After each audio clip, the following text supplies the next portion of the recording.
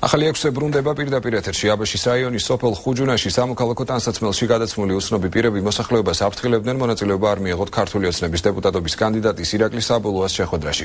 საბულუ აცხადებს რომ ადგილობრივებმა გაფრთხილება სამოქალაქო ტანსაცმელში გადაცმული პოლიციელებისგან მიიღეს. გაფრთხილების მიუხედავად მოსახლეობის ნაწილი ქართული ოცნების კანდიდატ შეხვდა და სოფელში არსებულ პრობლემებზე ხიად ისაუბრა სპეცსამსახურების წარმომადგენლებმა რომლებიც აბა ჩვენგან იღებენ ხელფას ამ ხალხისგან თითოეულმა აქვთ ხომთაგან ჩამოერეს და დააშინეს რომ მოსახლეობა არ გამოსულიყო. ენერგია გვაქვს მაგრამ ძალიან ძვირია და ვცდილობთ რომ არ დავხარჯოთ და ვერ გადავიხდით ამას. ვეცლით რომ ეს არ ქონა არ ქონა იგივე არ ქონა. ტრაქტორები ჩამოგიყვანეს ვიხეს თქვენიაო და სოფელში მოგემსახურებათო დააგეთხეს სადღაც პარკი დაახლოებით აქედან არის 150 კილომეტრი.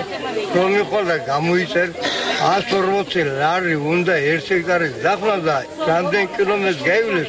იმდენი 100 1 ლარი და 50 წუთი უნდა გადაიხადოს ეს ფული კიდე